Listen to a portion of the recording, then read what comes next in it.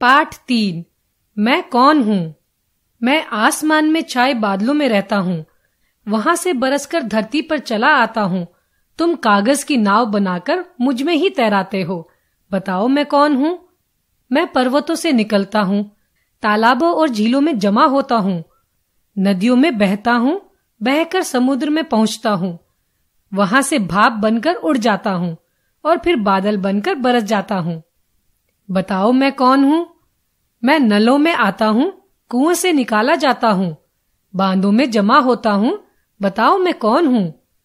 तुम मुझसे ही हाथ मुँह धोते हो, नहाते हो, कपड़े धोते हो, प्यास लगने पर मुझे ही पीते हो, मुझसे ही तुम खाना बनाते हो, सभी पशु पक्षी मुझे पीते हैं, किसान मुझसे ही पेड़ पौधों और फ़सलों को सींचते हैं, मछलियाँ मुझमें ही रहती है, बताओ मैं कौन हूँ?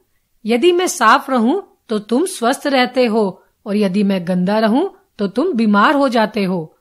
इसलिए मुझे साफ़ रखना तुम्हारी ज़िम्मेदारी ही नहीं, बल्कि तुम्हारी आवश्यकता है।